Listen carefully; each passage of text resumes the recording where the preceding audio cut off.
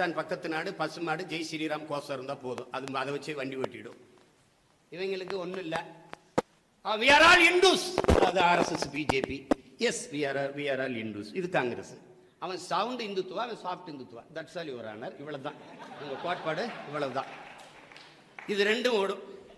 ஐம்பது வருஷம் நாட்டை காங்கிரஸ்க்கு கொடுத்து இவ்வளவு ஏழைகள் பஞ்ச பராரிகள் இருபத்தெட்டு கோடி மக்கள் இரவு உணவில்லாமல் தூங்கச் செல்கிறார்கள்.